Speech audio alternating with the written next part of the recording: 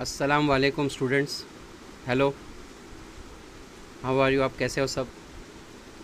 I hope कल का जो हाफ़ चैप्टर है, वरंदा घाट, है ना? घाटात घाट, वरंदा घाट, आपको ये समझ में आया होगा आधा चैप्टर और मैंने जो टास्क दिया था, वो टास्क भी शायद आपने पूरा किया होगा। तो आज मतलब मैं उसको चेक करूँगा मैं। तो स्टूडेंट्स जो चैप्टर है हमारा रिमेनिंग उसको आगे बढ़ाते हम लोग। और आज जैसा कि हम लोग ये चैप्टर में वरंदा घाट रेनी सीज़न ये सब पढ़ रहे थे, आज बहुत अच्छी बारिश हो रही है, बहुत अच्छा नेचर लग रहा है आज। और इतनी अच्छी बारिश में, अभी अगर आप मुमरा का पहाड़ देखना, है ना, बहुत खूबसूरत दिख रहा होगा। अब मैं मेरे विंडो के सामने तो माशाल्लाह बहुत अच्छा नेचर है। तो काफ़ी अच्छा लग रहा है मॉर्निंग टाइम आप लोग सुबह उठते हो कि नहीं पता नहीं। है ना? लेकिन अगर आप मॉर्निंग में अर्ली मॉर्निंग उठोगे तो आप नेचर देखा करो हमेशा बाहर। बहुत ही ब्यूटीफुल नेचर लगता है। तो स्टूडेंट्स हम लोग ने कल जो पैराग्राफ जहाँ तक पढ़ा था, उसमें हमने देखा था कि उसमें एक चीज़ बताया था कि अगर किसी को भीगना पसंद है, थोड़ा सा चलना फिरना पसंद है और उनको डेयरिंग करना पसंद है है ना? तो उनके लिए ऐसे जिगरबाज लोगों के लिए कावड़ा किला है यहाँ पर, है ना? यहाँ तक हम लोगों ने पढ़े थे। चलिए उसके आगे बढ़ते हैं हम लोग। कावड़ा किला तसा बराच मोठा है। आई होप आपको पैराग्राफ मिला होगा न्यू पैराग्राफ आपके सामने जो पेज है, उसका न्यू पैराग्राफ टेक्स्ट बुक सामने है तो मीनिंग्स लिखो, नहीं है तो नोटबुक में लिखो। कावड़ा किल्ला तसा बराच मोठा है कावड़ा किल्ला वैसा बहुत बड़ा है। तो फोडूनच, उसे तोडकर वरंदा घाटाचा शेवटचा टप्पा तयार केला आहे। वरंदा घाटाचा शेवटचा टप्पा। शेवटचा टप्पा मतलब क्या होता है? लास्ट जो उसका जो स्टेप मतलब हम कह सकते हैं उसका जो लास्ट जहाँ पे बिल्ड किया गया, जो लास्ट एरिया है है ना? लास्ट पार्ट जो है तो ये जो लास्ट पार्ट है, वो इस कावड़ा किला से ही निकाला गया, उसे थोड़ा सा तोड़कर।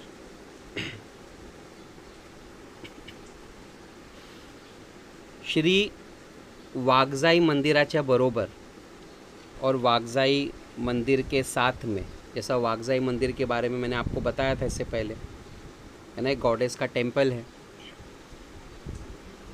वरच्या भागात अपर साइड, ऊपर की तरफ़,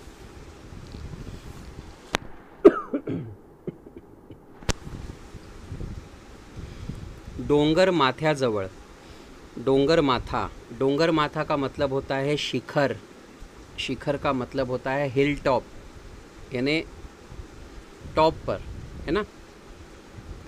नऊ टाक्यांचा समूह आहे. नऊ टाक्यांचा समूह. नऊ टाकी, यानी नाइन टैंक्स ओके तो ऊपर टॉप पर नौ टैंक्स का ग्रुप है. ओके कोने एकेकाळी किसी ज़माने में तो कावड़ा किला एक भाग होता. वो इसी फोर्ट का एक पार्ट था. मतलब वो जो टैंक्स है, वो इसी का उस उस फोर्ट का पार्ट था. भजी, वड़े, चहाच्या टपऱ्यांच्या बाजूने और इन टपरियों के बाजू से अवघ्या दहा पंद्रह मिनटात around ten to fifteen minutes में इथं जाऊन पोहोचता येतं. मतलब आप टपरी के बाजू से अगर चलोगे तो पंद्रह, दस पंद्रह मिनट में आप पहुँच जाओगे। पाण्याला जीवन का म्हणतात और क्यों हम वाटर को लाइफ कहते हैं, ते इथं आल्यावर कळतं। वहाँ पहुँचने पर हमें उस चीज़ का फील होता है। तो water is most important part our life हमारे ज़िंदगी का जो सबसे इंपॉर्टेंट पार्ट है वो पानी है। तो क्यों है? उसका एहसास हमें यहाँ पर आकर मिलता है। क्यों ऐसा कहा गया? क्योंकि इतने ऊपर वो टैंक बने हुए हैं पानी के, जिसमें वाटर वो लोग जमा करके रखते थे। इतना ऊपर आने के बाद एहसास होता है कि सही में ज़िंदगी में पानी कितनी इम्पोर्टेंट है। काळ्या शार पाषाणात काळ्या शार इन्हें एकदम ब्लैक कलर के, पाषणात, पाषण पाषण कहते हैं पत्थर को। खोदलेली पाण्याची ती टाकी और उस पत्थर को खोदकर बनाई हुई वो पानी की जो टाकी है, कित्येक वर्षे कित्येकांची तहान भात भागवत असेल कोण जाणे कित्येक वर्षे, कई सालों से कित्येकाची तहान भागवत असेल। कितने लोगों की प्यास बुझाते होंगे। तहान मतलब थर्स्ट प्यास। भागवत असेल भागवत असेल मतलब प्यास बुझाने का काम करता होगा कौन जाने? कई सालों से कई लोगों की प्यास इस टाके ने बुझाई होगी। ओल्या वाटेने परत जाताना ओल्या वाटेने ओल्या मतलब वेट गीले गीले रास्ते से रिटर्न जाते वक्त अंगावरचे कपड़े और पहने हुए जो कपड़े हैं हमकास रंगतात. ऑब्वियसली रंगतात मतलब कलरफुल हो जाते हैं. मतलब क्या, उधर की जो मिट्टी है, वो मिट्टी का रंग उन कपड़ों में लग जाता है ओके आने जाने में. परत एकदा आपण डांबरी रस्त्यावर येतो. फिर एक बार हम नॉर्मल रोड डांबर से बने हुए रोड पे आते हैं. उजव्या हाताच्या वळणावर राइट हैंड राइट हैंड के टर्न पर वळणावर मतलब टर्न कावळ्या किल्ल्याकडे जाणाऱ्या पाय वाटेवर और कावड़े किले की तरफ़ जाने वाले पाय वाटेवर पाय वाटा मतलब वॉकिंग पाथ पैदल चलने के रास्ते पर नज़र स्थिरावते. नज़र स्टेबल हो जाती है, रुक जाती है. स्थिरावते मतलब रुक जाना. बांधीव पायऱ्या पार करून, और इन ब्यूटीफुल स्टेप स्टेयर्स को पार करके क्रॉस करके अरुंद पायवाटे ने और एक अरुंद अरुंद मतलब नैरो, है ना, नैरो, बांधी मतलब कंस्ट्रक्टेड बहुत ब्यूटीफुली जो पहले ज़माने में बने हुए कंस्ट्रक्टेड बिल्ड किए हुए अरुंद यानी एक नैरो पाए वाटे ने वही पैदल चलने के रास्ते से कारवीच्या झाडीतून कारवी के प्लांट में से तो कारवी टाइप ऑफ प्लांट एक वाय एक वाइल्ड प्लांट है कारवी ओके तो कारवीच्या झाडीतून हृदयाची धडपड तो जो हृदयाची धडपड वाढवणारा ट्रॅक सुरू होतो.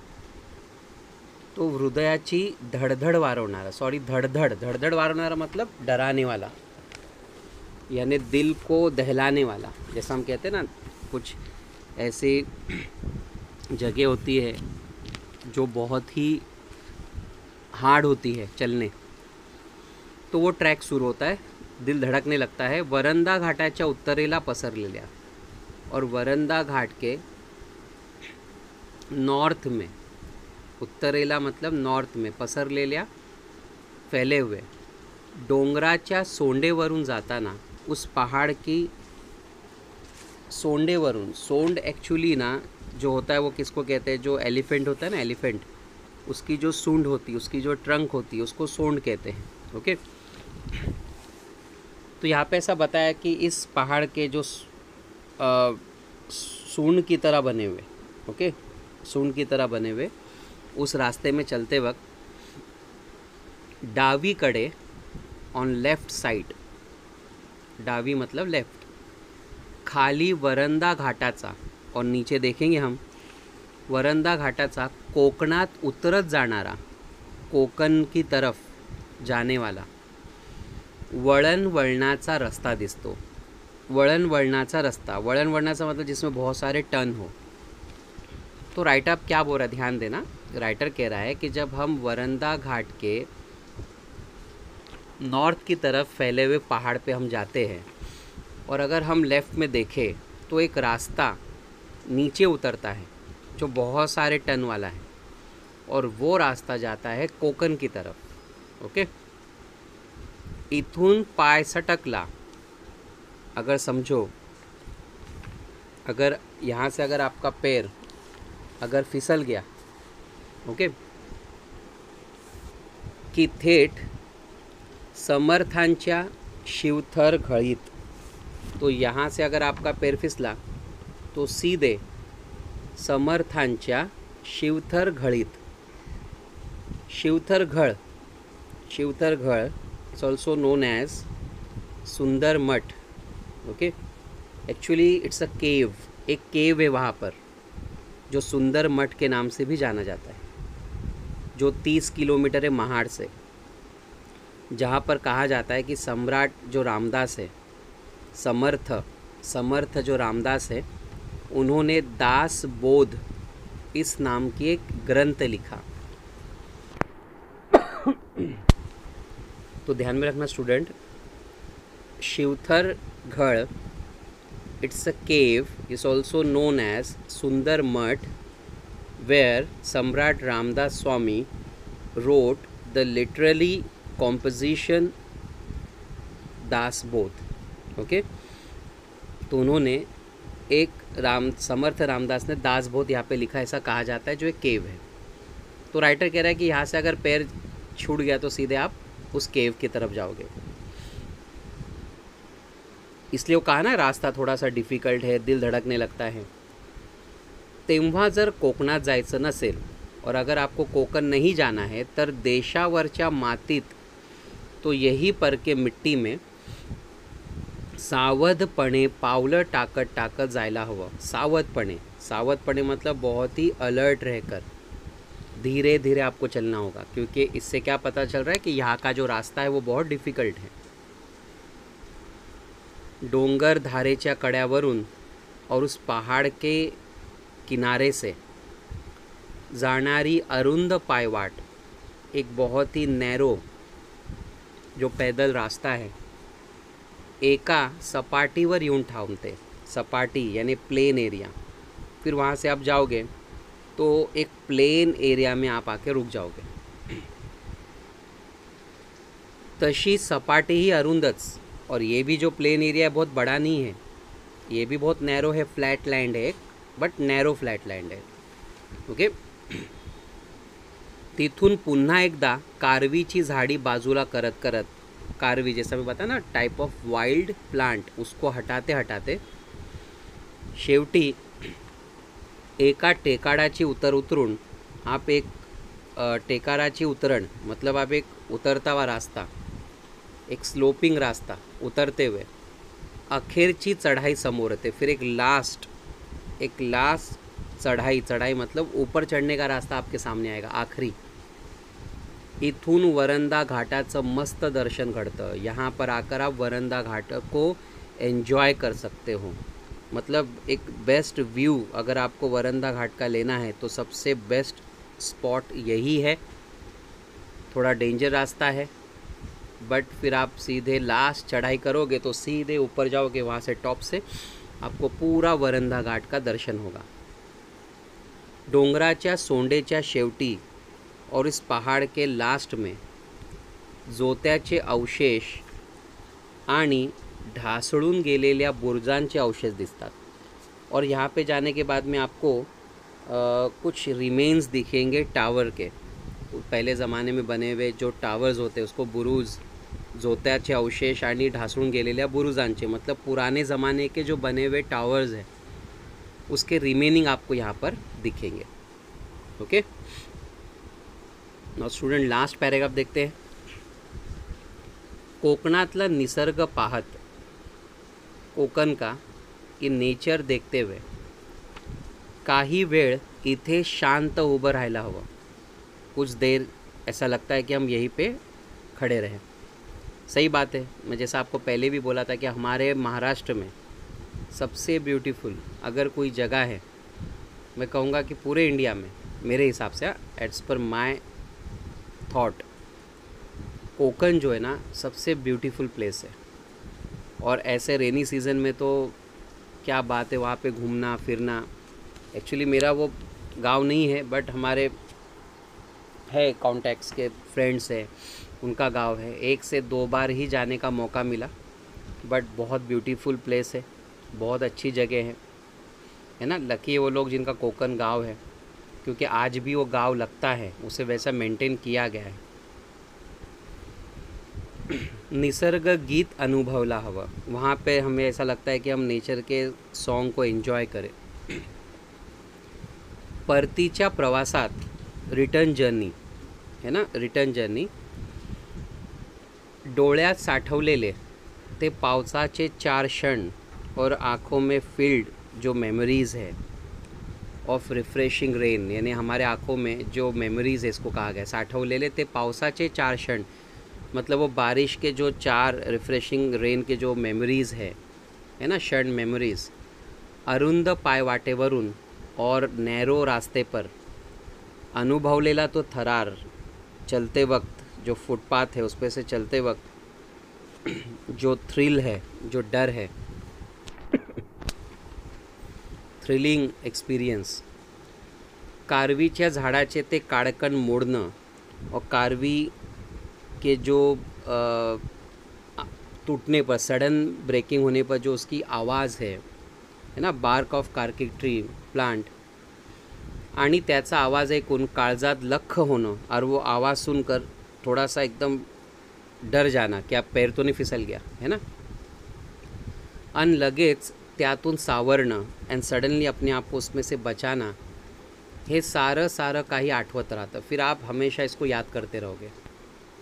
हसता हसता रडवणारा, यानी हँसते हँसते रुलाने वाला आणि रडत रडत हंसवणारा. सही बात है ना? आप हँसते एंजॉय करते हो जा रहे हो सडनली एक ऐसा फुटपाथ आ गया जहाँ पे आपको बहुत डर लग रहा है. तो आप रोने लग रहे हो. और फिर अगेन रोते रोते रोते फिर आपको एक ऐसी जगह पे जा रहे हो जहाँ पे बहुत एन्जॉय कर रहे हो, है ना? हा ट्रैक एन्जॉय करायचा असेल, अगर आपको इस ट्रैक को, अगर इस फुटपाथ को एन्जॉय करना है, तर वरंदा घाटा घाटाच्या दिशेने तो वरंदा घाट की तरफ़ आपल्या गाडीची चाकं वळवायला हवी. तो आपको आपको अपने जो गाड़ी के जो टायर्स है उसको घुमाना होगा. मतलब क्या? आपको वहाँ पे जाना होगा. अगर आपको इस ट्रैक को एंजॉय करना है।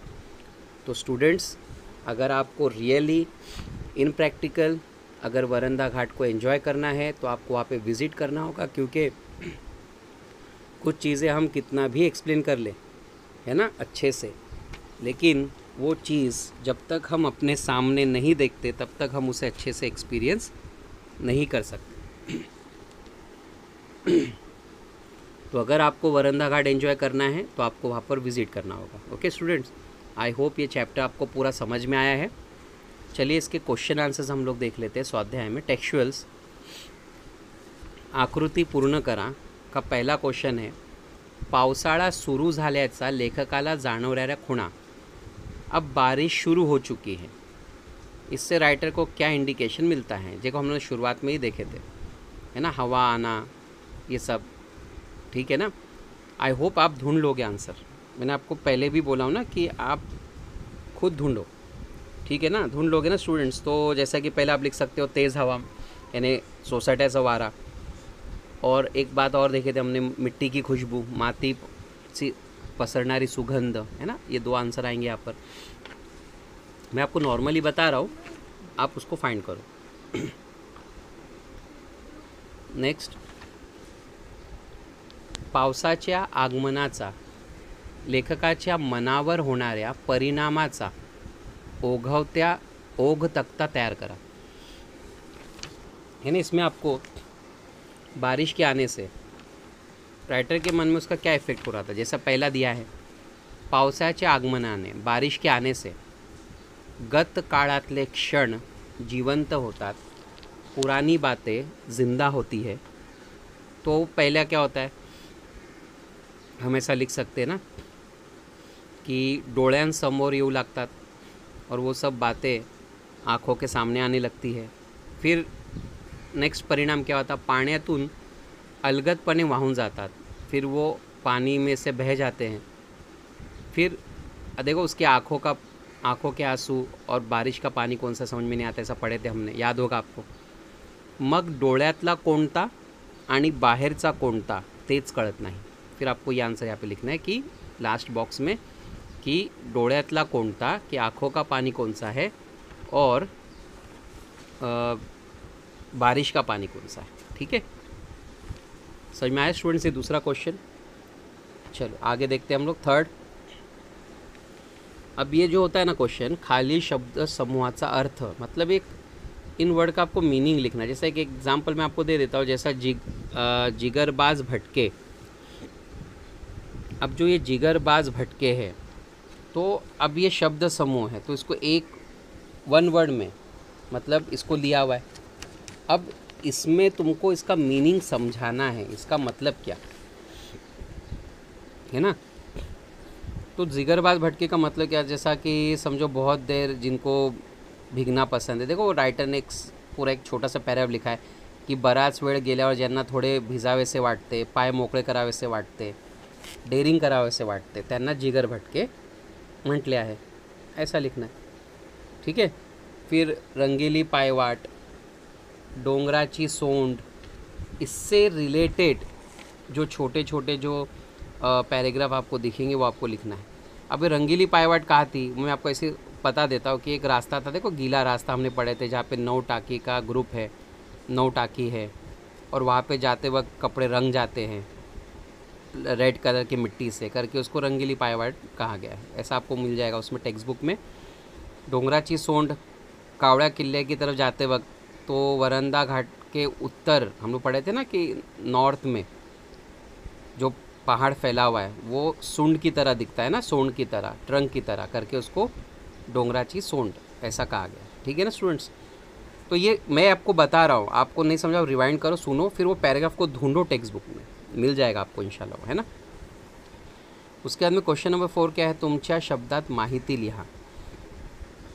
अब पहला क्वेश्चन क्या बोला है कि वरंदा घाटाच्या निसर्गाचे, है ना, स, विहंगम दृश्य, यानी वरंदा घाट जो है, वहाँ का जो एक, जो खूबसूरती है है ना?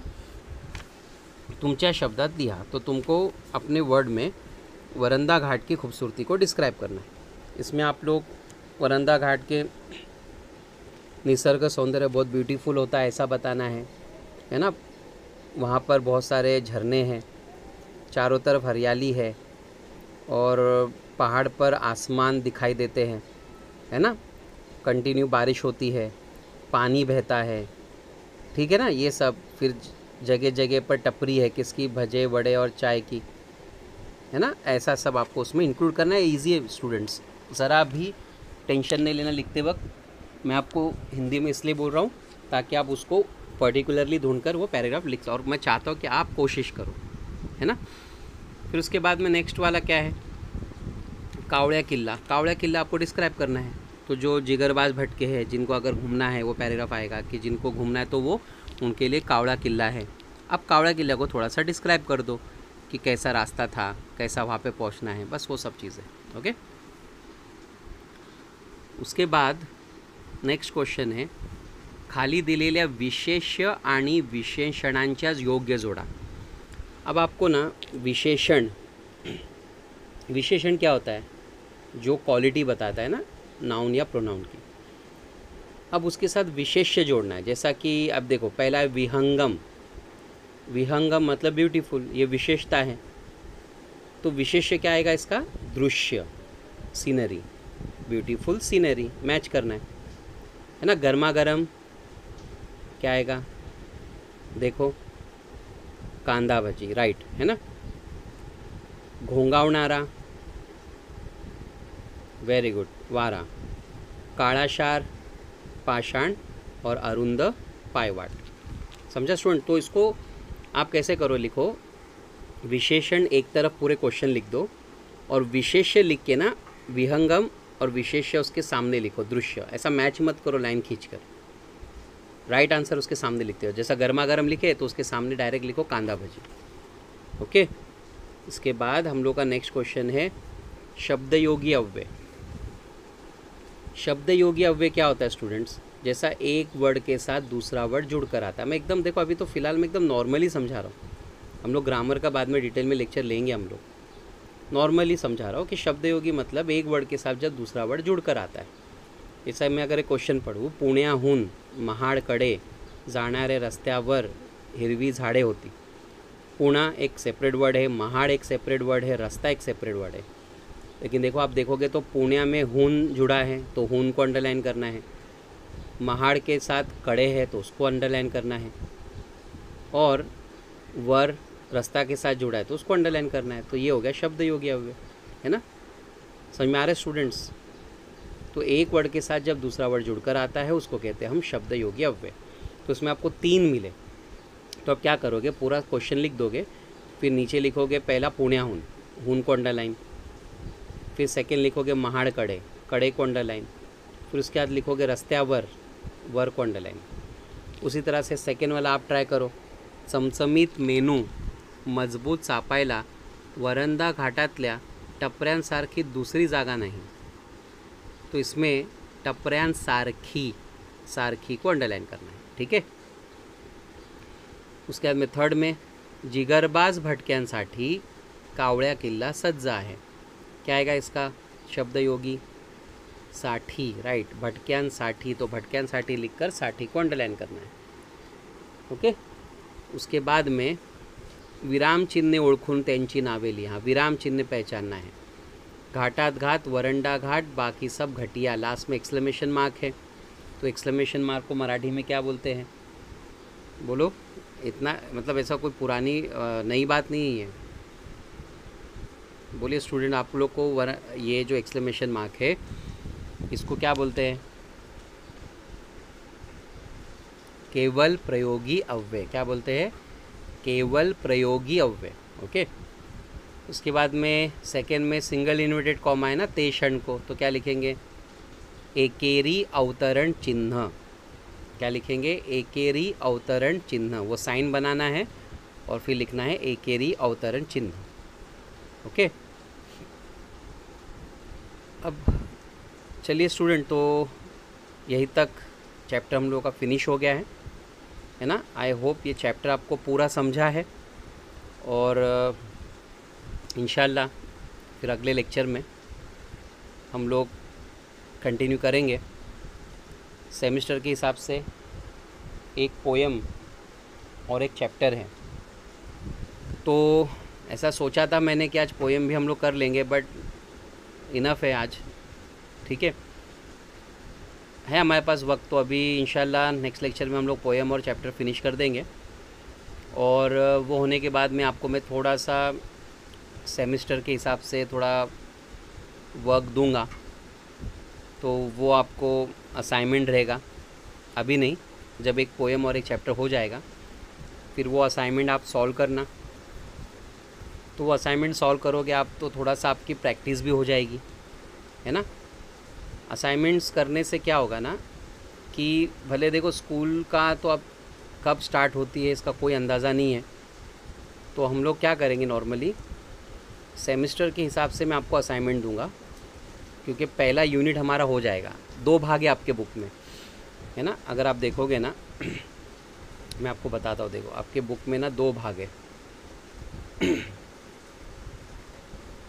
अब ये दो भाग को कैसा होता है नॉर्मली कि अभी तो यूनिट एक्चुअली यूनिट एग्ज़ाम का टाइम है।